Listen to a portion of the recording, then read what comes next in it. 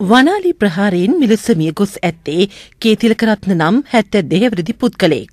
පැල් රැකීමට ගොස් ආපසු නිවස කරා එමින් සිටියදී ප්‍රහාරය සිදුවී තිබුණා. බරපතල තුවාල් ලැබූ ඔහු කහටගස් දීගලිය රෝහල වෙත ගෙන යන අතරතුර ජීවිතක්ෂයට පත් වුණා.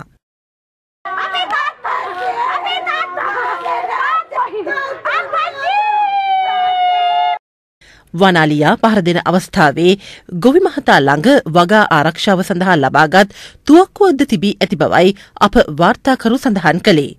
අදාළ තුවක්කුවද පාගා වන අලියා එයද විනාශ කර තිබුණා. පාමාර හතර වෙනකොට මේ අලි හැමතැනම ඇවිදිනවා. වන ජීවියකට කොච්චරවත් දැනුම් දීලා දෙනවා එයාලගේ කිසිම ප්‍රතිචාරයක්